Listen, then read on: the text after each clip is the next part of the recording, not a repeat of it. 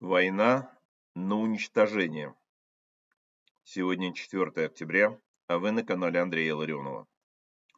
Хотел бы предложить вашему вниманию 20 тезисов о идущей сейчас Ирано-Израильской войне. Вначале несколько комментариев по поводу иранской ракетной атаки, а затем более общие наблюдения, замечания и выводы в целом об этой войне. Итак, первый тезис. Иранская ракетная атака на Израиль 1 октября. Судя по всему, Иран запустил порядка 200 баллистических ракет по Израилю. Из них 181 ракета долетела до территории или воздушного пространства Израиля. Целями воздушного налета были штаб-квартира Масад, а также военно-воздушные базы в Тель-Нофе, Хацериме и Неватиме. В Неватиме зафиксированы не менее 32 ударов э, этими ракетами. Каковы результаты этого налета? Семь погибших, один иммигрант из Газы, оказавшийся в Иерихоне на территориях, араб, один погибший в Иордании и пять погибших при взрыве при старте Э, ракеты в Иране. Итого 7 погибших, все мусульмане. В Израиле погибших нет, есть разрушения, судя по всему, незначительные. Нанесены повреждения административным помещениям на нескольких военно-воздушных базах, поражений самолетов и серьезных военных объектов нет. Правда, буквально накануне этого налета два террориста вышедшие из трамвая в Яфе, совершили нападение на, изра... на израильтян, убили 7 человек, и восьмой человек, житель Грузии, скончался несколькими часами позже. 16 человек было ранено. Получается, что 181 баллистическая ракета не убила ни одного человека на территории Израиля, но убила 7 человек в других местах, а два террориста оказавшиеся на территории Израиля, убили восьмерых. Вот есть над чем подумать о современных средствах асимметричной войны. Второй вывод, какой приходится делать, это вывод о значении ракетного оружия в настоящее время. Несмотря на кажущуюся невысокую эффективность этого ракетного удара, мы знаем, что эти ракетные удары наносились в последнее время, наносятся сейчас и точно будут наноситься по территории Израиля из Газы, Ливана, Йемена, Ирана. Ответные удары идут, естественно, из Израиля по территории Ливана, Сирии и самого Ирана. Наиболее заметными это удары, конечно, по штаб-квартире Хезбаллы в Бейруте или по йеменскому порту Хаудейда. Трудно представить себе более наглядный урок значимости и ракетного оружия, и противоракетной обороны для Украины. Той самой Украины, совсем недавно обладавшей мощнейшей научной базой по созданию и производственными ресурсами по выпуску самых разнообразных ракет. Утрата этой школы и этой базы огромной кровью отзывается и среди украинских военных, и среди украинских гражданских. Есть опять-таки возможность вспомнить классическую работу генералов Залужного и Забродского об имеющемся в настоящее время реальном центре тяжести российско-украинской войны. Это наличие или отсутствие Украины дальнобойных ракет. Мы также должны помнить о тех просьбах, жалобах, запросах Путина в адрес Соединенных Штатов и всего Запада относительно того, чтобы не давать Украине дальнобойных ракет, чтобы не размещать их на территории Украины чтобы не разрешать Украине пользоваться этими дальнобойными ракетами по военным, для ударов по военным объектам на территории России. мы должны помнить то обещание, какое Байден дал в телефонном разговоре с Путиным 30 декабря 2021 года, когда он пообещал Путину не предоставлять Украине дальнобойных ракет, что, собственно, и просил Путин. Мы понимаем, что, очевидно, именно это обещание Байдена, наряду с рядом других действий и Байдена и его администрации, сыграло роль зеленого света, позитивной отмашки для Путина по осуществлению его широкомасштабной агрессии против Украины менее чем через два месяца. Важнейший вывод для Украины.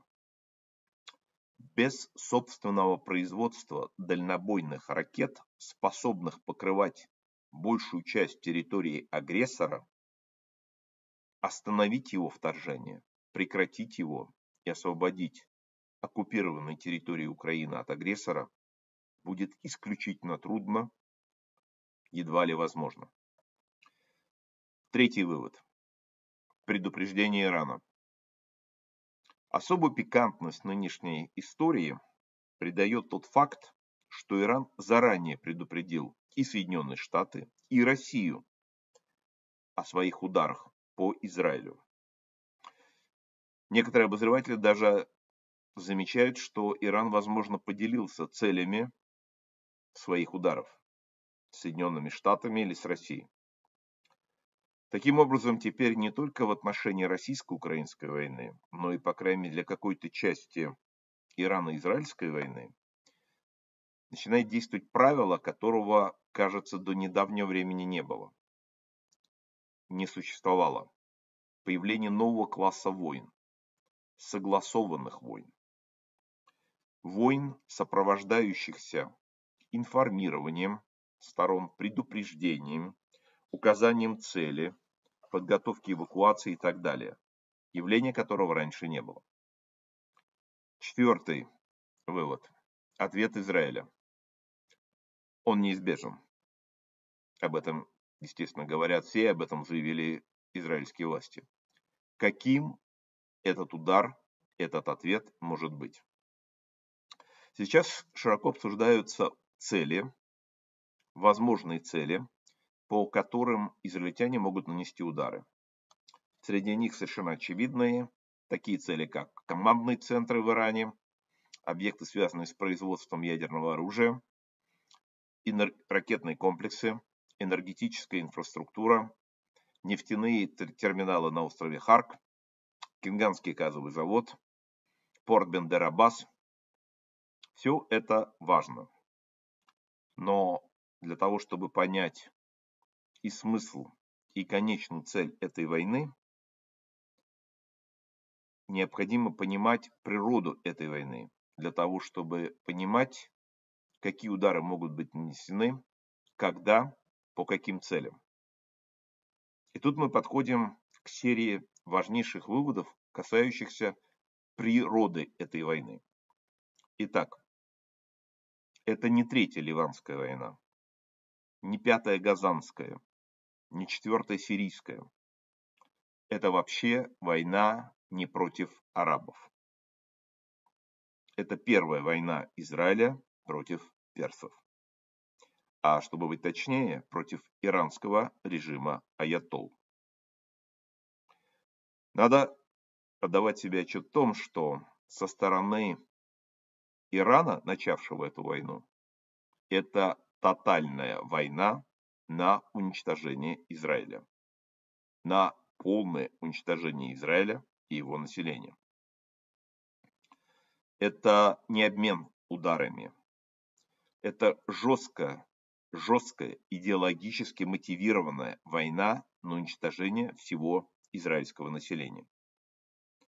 По результатам этой войны одного из участников этой войны не будет либо государства Израиль, либо иранского режима Аятол. Промежуточного варианта не будет. Шестой тезис. Когда началась подготовка к этой войне? Иранский режим Аятол начал подготовку к этой войне еще в 1979 году, вскоре после победы так называемой Исламской революции. Тогда была провозглашена цель тотальная аннигиляция Израиля и его населения. Для этого Иран создал новые вооруженные силы, запустил ракетную программу, запустил ядерную программу, создал мощную международную сеть прокси, доверенных лиц, групп, отрядов, частей, армий для нападения на Израиль с разных сторон. Особую роль в подготовке Ирана к тотальной войне против Израиля по уничтожению этого государства играет ядерная программа. В этой ядерной программе много разных историй, она заслуживает отдельного большого разговора, но сейчас я хотел бы остановиться на одном пункте. Это седьмой тезис. Отношение разных администраций США к ядерной программе Ирана. Пожалуй, самую важную часть со стороны Соединенных Штатов Америки играли переговоры, какие проводили с Ираном представители администрации Обамы Цель заключалась в том, чтобы позволить иранскому режиму проводить работы по обогащению урана. В ходе шести раундов этих переговоров в 2015 году была достигнута сделка, позволившая Ирану продолжать эти работы. С американской стороны главными переговорщиками в ходе этих переговоров были близкий друг и приятель Сергея Лаврова, министр иностранных дел России, бывший госсекретарь тогда Джон Керри. Это тот самый Керри, который буквально на днях заявил о том, что главной проблемой для него и его партии, демократической партии, сейчас является существование первой поправки Конституции США, гарантирующей свободу слова и призывающей ее отменить и установить тотальную цензуру. Команду переговорщиков со стороны США тогда входили тогдашние сотрудники Государственного департамента, а ныне, сегодня, нынешний директор Центрального разведывательного управления Билл Бернс, нынешний советник по национальной безопасности президента Байдена Джейк Салливан, нынешний советник по национальной безопасности вице-президента Харрис Фил Гордон, достижение этой сделки считают великим достижением и Обама, и Байден, и Харрис, ну, естественно, и все участники этих переговоров, добившиеся заключения этой сделки. Пришедший на смену Обаме президент Трамп в 2018 году объявил о выходе Соединенных Штатов из этой сделки. Более того, он ввел дополнительные санкции против Ирана. Пришедшая в 2021 году администрация Байдена возобновила переговоры и сняла значительную часть санкций, введенных администрацией Трампа. В результате Иран получил как минимум 10 миллиардов долларов из размороженных средств, а по словам кандидата вице-президента США Джей Ди Венса, сказанными им во время недавних дебатов, полученная сумма составляет порядка 100 миллиардов долларов. Но, видимо, Венс учитывает все средства, полученные не только в течение э, каденции Байдена, видимо, и в течение каденции Байдена и Обамы. Восьмое. Каков результат политики Байдена в отношении иранского режима Аятол. Снятие Байденом санкций с Ирана привело к ожидаемому предсказуемому результату. В 2020 году, в последнем году каденции Трампа, валовой внутренний продукт Ирана составлял 196 миллиардов долларов. В нынешнем 2024 году, 4 года спустя, ВВП Ирана ожидается на уровне 464 миллиардов долларов. То есть это означает рост в 2,4 раза. Рекордный рост ВВП и, соответственно, рекордный рост финансовых, экономических и военных возможностей иранского режима. Это то самое, о чем столько раз говорил Трамп. Трамп, будучи президентом Соединенных Штатов Америки, душил Иран экономически и тем самым ограничивал военные возможности иранского режима. Байден накачал Иран финансовым жиром, который террористический режим Аятол использует для разработки и производства оружия, разного оружия, включая ядерное оружие, и для подпитки проиранских подразделений на всем Ближнем Востоке, нацеленных на уничтожение Израиля. Девятый тезис. А когда была начата Ирано-Израильская война? Она была начата не 1 октября. Это, можно сказать, вторая фаза непосредственно Ирано-Израильской войны. Она не была начата и 14 апреля этого года, когда Иран совершил первую ракетную атаку на территорию Израиля. Этому у нас был посвящен специальный видеоролик на этом канале. Война была начата 7 октября 2023 года, почти год тому назад, атакой Хамаса на территорию Израиля. И Газа стала первым фронтом этой большой Ирано-Израильской войны. На следующий день, 8 октября 2023 года, Иран открыл второй фронт против Израиля, направив на Израиль части Хизбаллы. Еще несколькими днями спустя, 19 октября 2023 года, Иран подключил к этим ударам хуситов, и они ракетными атаками по Израилю и по судоходству в Красном море открыли третий фронт против Израиля и Запада.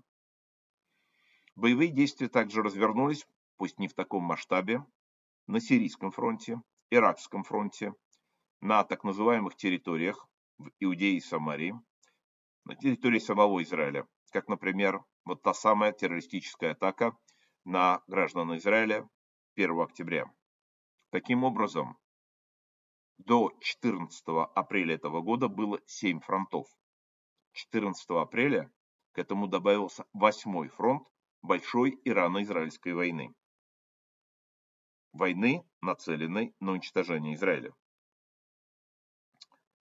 Десятый тезис. Региональный разрез войны. Но, собственно, перечисление всех этих иранских подразделений прокси и дает нам список тех семи, а теперь уже восьми фронтов большой Ирано-Израильской войны. Газа, Иудея и Самария, непосредственно Израиль, Хизбалла в Ливане, хуситы в Йемене, режим Асада в Сирии, шиитская милиция в Ираке и непосредственно сам Иран. Одиннадцатый тезис.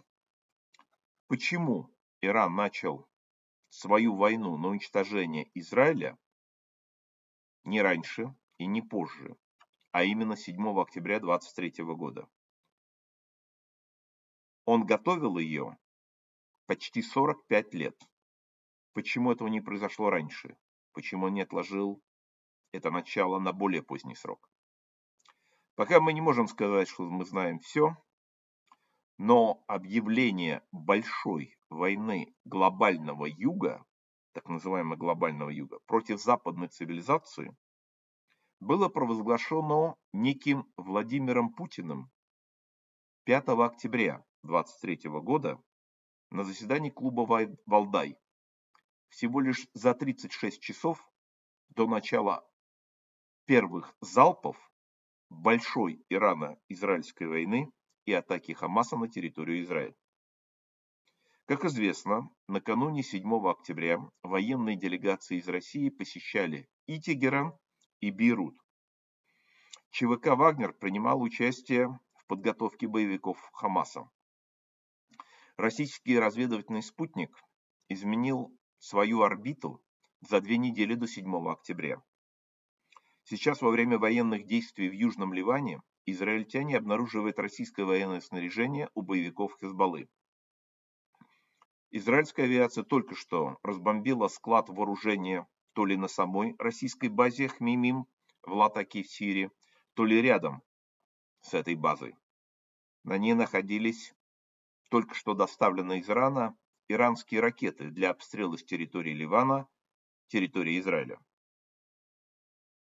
Все это вместе позволяет предположить, что Иран, готовивший свою тотальную войну против Израиля почти 45 лет, в конце концов решился на атаку только тогда, когда получил понимание, согласие или прямую отмашку из Кремля. Двенадцатый тезис. Ответ Израиля. Естественно, ответ Израиля будет, он неизбежен. Каким может быть, каким должен быть, каким ожидается этот ответ? Перед Израилем стоит не совсем простая задача, учитывая все.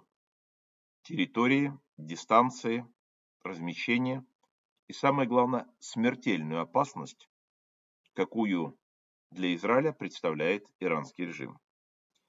Поэтому ответ Израиля не будет просто обменом ударами. И такого рода ответ не будет нацелен на получение громкого, просто громкого эффекта. Целью и первого удара, и последующих ударов, и целью всей войны станет уничтожение режима Аятол. Причем для Израиля, очевидно, надо будет это сделать таким образом, чтобы не антагонизировать население Ирана, по крайней мере, значительную часть его, с тем, чтобы не вызвать развитие шиитско-суннитского военного противостояния и, возможно, попытаться избежать взрыва этнических проблем в самом Иране. Конечно, идеальным вариантом было бы хирургическое изъятие режима Аятол из Ирана, создание нового режима, появление новой власти, новой власти, которая бы смогла восстановить традиционные для персов и евреев исторические если не союзнические, то дружеские отношения между двумя народами, существовавшие почти две с половиной тысячи, более чем две с половиной тысячи лет. Однако ключевой фактор в определении времени нанесения ударов по Ирану и развертывания полномасштабной наступательной операции стороны Израиля – это президентские выборы в Соединенных Штатах Америки. Если в Израиле оценка будет таковой, что эти израильские удары могут повлиять на результаты выборов 5 ноября в пользу Харрис, то весьма вероятно, что такие удары будут отложены до после 5 ноября. Мы знаем, что госпожа Харрис является очень упрямой антиизраильской политической фигурой, а ее вице-президент является не скрывающим своих намерений и позиций антисемитом. Поэтому, если случится, что анализ покажет, что израильский удар не повлияет на результаты выборов, то, возможно, он произойдет и до 5 ноября. Тринадцатый тезис. Каков возможный ответ Ирана? Кроме сугубо военных действий, Иран может предпринять три стратегических ответа. Первый и самый главный – попытаться вовлечь Соединенные Штаты Америки, как нынешнюю администрацию, так и в том случае, если в ней в Соединенных Штатах появится другая администрация, в этот конфликт на своей стороне с тем, чтобы использовать Соединенные Штаты для оказания давления на Израиль по осуществлению так называемого перемирия. Иран может попытаться шантажировать Соединенные Штаты возможными ударами по энергетической инфраструктуре арабских суннитских государств в районе Персидского залива и тем самым провоцированием серьезного энергетического кризиса. Второе. Иран может попытаться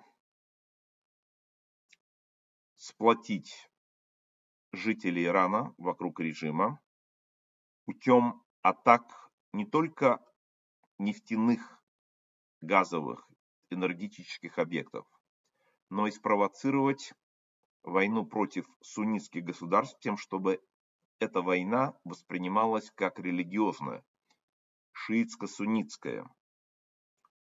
В этом случае арабские государства, которые в настоящее время либо придерживаются нейтралитета и неучастия в этой войне, могут оказаться в тяжелом положении. И, наконец, третье направление действий со стороны иранского режима может быть провоцирование этнических конфликтов на территории самого Ирана с целью создания у жителей Ирана впечатления, что для того, чтобы избежать кровопролитной внутренней гражданской войны этнического характера, лучше всего сплотиться вокруг самого режима. Четырнадцатый тезис. Последствия этой войны для Украины.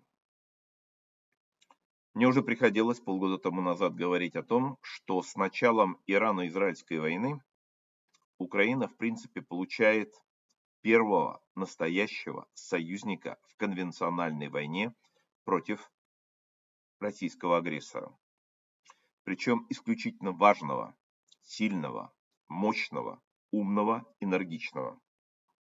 Приобретение такого союзника Украиной может привести к трем возможным сценариям. Первый, минимальный. Отвлечение ресурсов Ирана на войну с Израилем и, соответственно, уменьшение давления со стороны России с точки зрения получения ракет, дронов и других ресурсов со стороны Ирана. Второе, как следующий уровень развития, формирование общего фронта жертв агрессий со стороны стран агрессивной оси, то есть со стороны России, Ирана, Северной Кореи и Белоруссии, формировалась бы коалиция Украины, Израиля, как минимум до появления новых фронтов этой большой глобальной войны.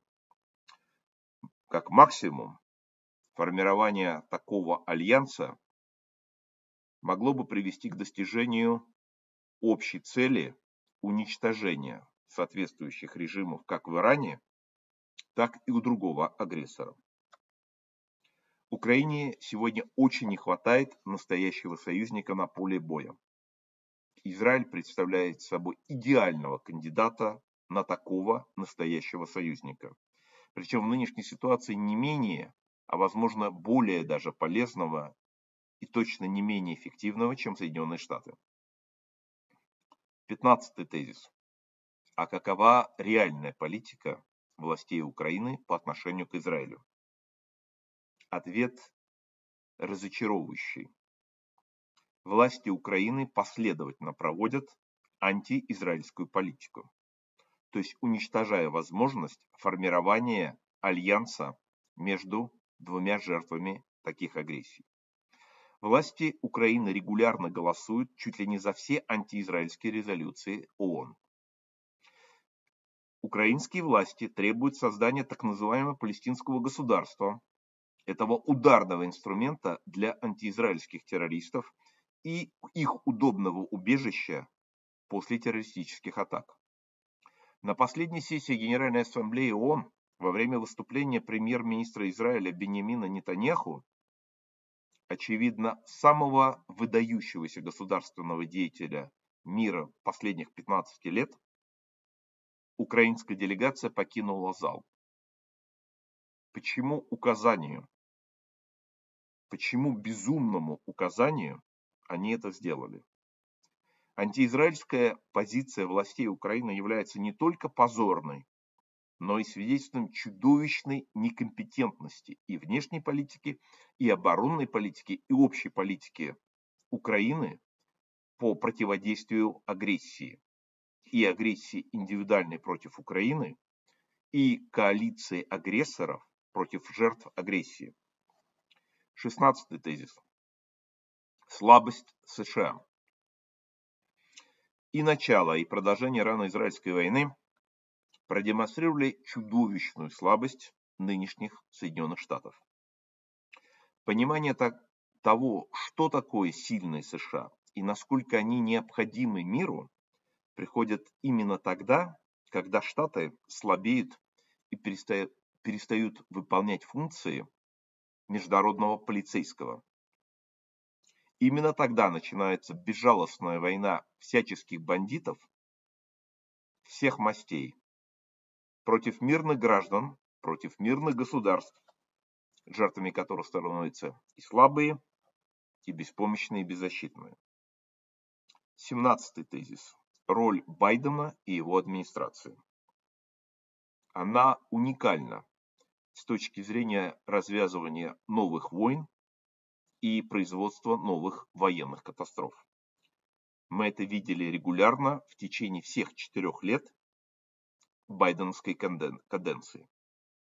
Позорнейший вывод американских войск из Афганистана в августе 2021 года, зеленый свет вторжению путинских войск в Украину феврале 2022 года, затянувшаяся эта агрессия из-за отказа Байдена поставлять необходимое оружие для защиты Украины, блокирование в течение многих месяцев Байденом и его администрацией и оказание колоссальной экономической помощи путинскому режиму, суммарно более полутриллиона долларов дополнительных доходов для путинского бюджета для проведения войны против Украины. Кроме того, то, что произошло во время каденции Байдена в Африке, это серия военных переворотов в Мали, Гвинее, Буркина-Фасо, Нигере, геноцидов в Судане и Нигерии. Все это происходило при полном попустительстве, при полном разрешении администрации Байдена осуществления этих действий, которые проводятся под флагом борьбы с Западом, во многих случаях с непосредственным участием российских подразделений ЧВК «Вагнер» и другой помощи со стороны путинского режима. Конечно же, отдельное место занимает начало глобальной большой ирано-израильской войны 7 октября 23 года на всех фронтах. Сюда же относится и вторжение на южной границе Соединенных Штатов Америки. 18 тезис. Администрация Байдена продемонстрировала не только свою невероятную слабость, но и свою еще чудовищную некомпетентность. В начале 2021 года, когда директор ЦРУ Бернс заступал на свой пост. Он обнародовал приоритеты работы своего ведомства американской разведки на предстоявшие тогда 4 года. Затем он неоднократно повторял список этих приоритетов в ряде своих публичных выступлений.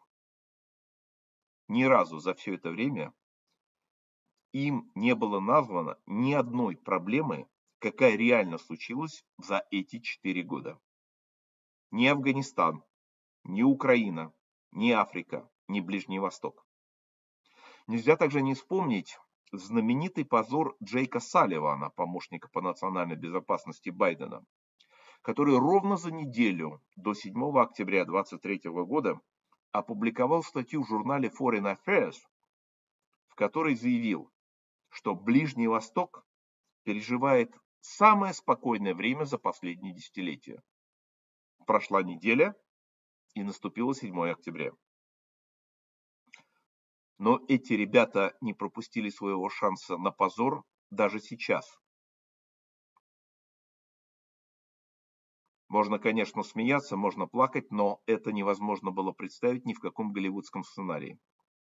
За пять часов до иранской ракетной атаки на Израиль 1 октября, утром 5 октября, госсекретарь администрации Байдена Блинкен в том же самом журнале Foreign Affairs опубликовал свою статью, в которой, перевернув ситуацию с ног на голову, после идущей целый год войны, начатой Ираном, призвал к обоюдному взаимному соблюдению обязательств со стороны Ирана и Соединенных Штатов Америки.